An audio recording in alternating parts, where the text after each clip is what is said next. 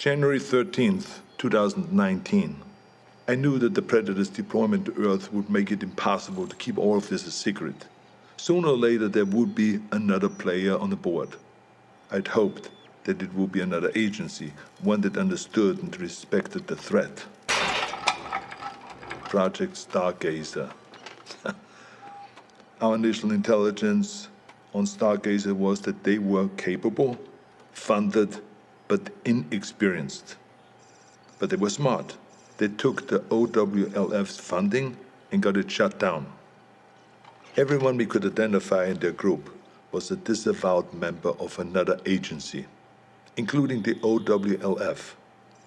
Lacking strong leadership and a clear directive, they were sloppy and arrogant. They were aware of the predator's threat, and while they had many of the pieces, they struggled to see the bigger picture. Stargazer was so far behind that we didn't see them as a threat until the event in Mexico. The recovered Predator escape pod was an extraordinary find for Stargazer, but the death toll was a heavy price to pay for taking a Predator captive.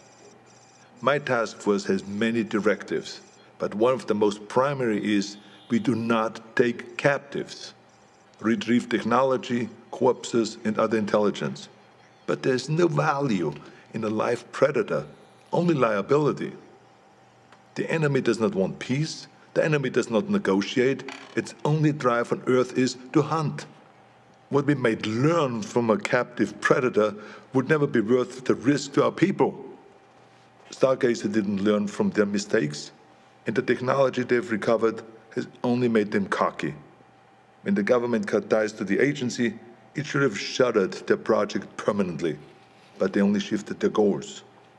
Guerrilla factions and private military companies are being contracted by Stargazer to set out bases and equipment in locations that we have identified as ideal hunting grounds. We believe that the former intelligence project is setting itself up to be a fully independent dealer of otherworldly arms. This is the worst case scenario. Hostile forces will use those weapons on their enemies and they will use them on us. All the while, the true enemy stalks us unseen. It's a distraction mankind can't afford. Stargazer will have to be dealt with.